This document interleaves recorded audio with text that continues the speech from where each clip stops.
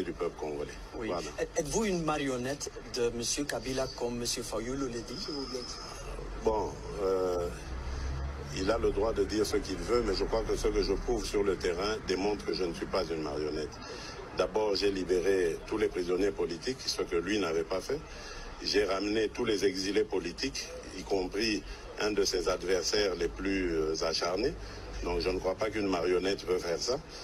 Je suis en train de lutter contre euh, la corruption qui avait caractérisé son système et euh, j'améliore les qualités de la vie des Congolais. Donc c'est clair que je je, je ne suis pas sa marionnette, je suis son allié parce que nous avons décidé de nous mettre ensemble pour diriger le Congo et le diriger autrement. Mais il contrôle la plupart des postes dans votre euh, gouvernement.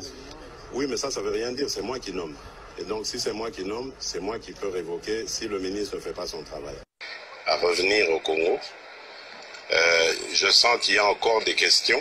Ils se demandent est-ce que vraiment cette fois c'est la bonne, est-ce que le Congo euh, a vraiment décollé? Moi je dis oui, le Congo a décollé, nous n'allons plus reculer, nous allons avancer et ce n'est qu'avec euh, les Belges que on peut se sentir à l'aise. Parce que la Belgique c'est l'entrée pour l'Europe par rapport à nous, les Congolais. Et ce serait une très bonne chose que les Belges nous aident à nous ouvrir comme ça sur le marché euh, européen. Oui. Hier, vous avez parlé des antivaleurs. euh, qui... Hier, vous avez parlé des antivaleurs euh, qui freinent les in- investisseurs Oui. internationaux pour investir dans le Congo. Oui, oui, c'est ce que j'ai dit. Oui, vous voulez faire quelque quelque chose euh, contre ces antivaleurs. Oui. oui. D'abord, il faut expliquer ces antivaleurs, c'est la corruption, c'est euh, la mauvaise gouvernance, c'est l'impunité. Il y a des gens qui, qui font des, euh, des bêtises, mais qui ne sont pas punis par la loi. Donc, je veux renforcer l'état de droit, la justice. Je veux renforcer les mécanismes de contrôle et je vais créer euh, un office de lutte contre la corruption. C'est- C'est un service qui va avoir plusieurs euh, euh, branches qui seront chargées de, de lutter contre la corruption. Oui. Oui.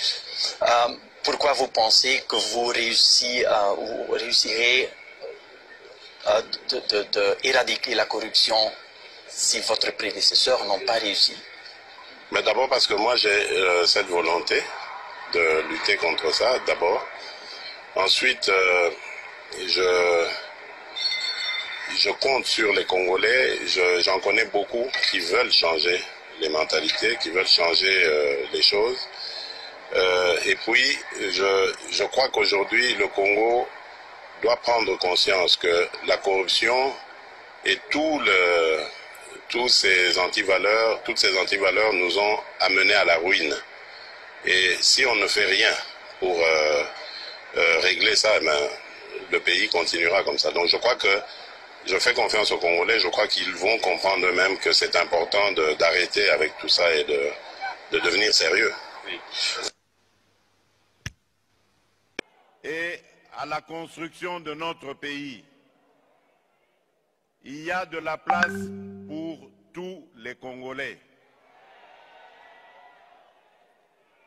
Et pour le marquer davantage, mes premiers signes ont été de libéraliser l'espace politique.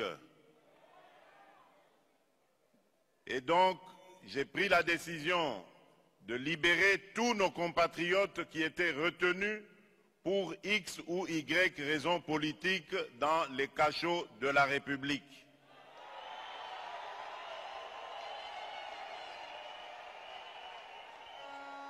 Pour ceux qui étaient en exil, empêchés de retourner dans leur pays, tout le monde est désormais libre de retourner dans son pays.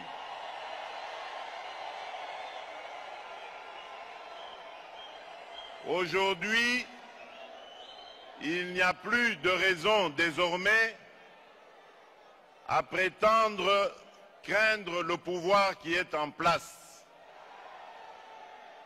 Mais je ne demande pas à revenir incessamment parce que je connais les réalités de la vie à l'extérieur du pays, surtout ici en Belgique. Je connais les engagements professionnels, ce que cela signifie, et je sais que la réinsertion sociale, lorsque surtout on est à la tête d'une famille nombreuse, n'est pas assez facile. Donc euh, prenez votre temps, chers compatriotes, mais n'oubliez pas de rentrer dans votre pays.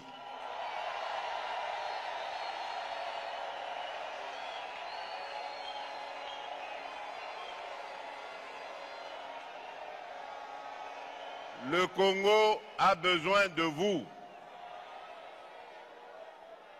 Nous avons plusieurs chantiers en construction. Le premier chantier, c'est celui, bien entendu, de la paix et la sécurité. Tant que un seul de nos compatriotes souffrira de manque de paix et de sécurité, ne sentirai jamais à l'aise. Nous sommes en train de tout mettre en œuvre. Aujourd'hui, notre, notre, armée est déployée en Ituri et dans le nord Kivu principalement, dans le but d'éradiquer complètement toutes ces poches de violence, une violence d'ailleurs inhumaine et gratuite qui est administrée injustement sur nos compatriotes vivant dans ces contrées. Je n'abandonnerai pas ce combat. Nous sommes à Anvers, l'un des plus grands centres de transaction de diamants du monde. Entre les mains de ces capitaines d'industrie belges passe plus de la moitié de diamants exploités dans tous les pays du monde. Le passage du chef de l'État congolais Félix-Antoine Tshisekedi dans ce coin de Lagos marque la reprise effective de la coopération économique entre la RDC et la Belgique dans les domaines de mines. La filière diamant constitue un des domaines clés de la coopération belgo-congolaise avec plus de 26 millions de carats importés de la RDC par la Belgique pendant les quatre dernières années. Une situation qui sera sans doute améliorée grâce à ce protocole d'entente signé entre les centres congolais d'expertise, d'évaluation et de certification de substances minérales précieuses et son équivalent en Belgique, le Centre mondial de diamants d'Anvers. Ce protocole, qui s'inscrit dans une perspective de coopération gagnant-gagnant, vise dans le respect de droits en vigueur de deux pays le développement d'une relation préférentielle et entièrement transparente. Le chef de l'État Félix Antoine Tshisekedi lui tient fermement aux retombées de ce partenariat. Je suis conscient que les efforts de mon gouvernement à eux seuls ne suffiront pas pour l'accroissement de la production escomptée. C'est pourquoi les portes de mon pays seront largement ouvertes à ceux qui souhaitent y venir pour investir, car nous regorgeons dans notre sous-sol aussi bien le diamant industriel que celui de joaillerie. Le développement étant un facteur important de la paix et de la sécurité, nous veillerons strictement sur la traçabilité du diamant afin d'écarter toute éventualité que ces ressources ne soient destinées aux groupes armés et autres mouvements terroristes, conformément aux résolutions pertinentes du Conseil de sécurité des Nations Unies. Le président de la République a rassuré à ses diamantaires soi de sa volonté à protéger les investisseurs qui viendront et travailleront dans les normes. Une autre retombée de la reprise officielle de relations économiques entre la Belgique et la RDC, c'est ce protocole d'accord signé entre le port d'Anvers, considéré comme le premier circuit de transport maritime entre l'Europe et l'Afrique, et la Société congolaise de transport et des ports, SCTP. De ce protocole découleront plusieurs projets de modernisation des ports de Matadi et de Boma. Comme un peu partout où il est passé, le chef de l'État a signé le livret d'or avant de recevoir des symboles de reconnaissance de la part de personnalités et autorités de la ville présentes. Le président de la République, Félix-Antoine Tshisekedi, a visité une grande partie du port d'Anvers au cours d'une randonnée, question de se faire une idée sur les projets liés à la modernisation des ports.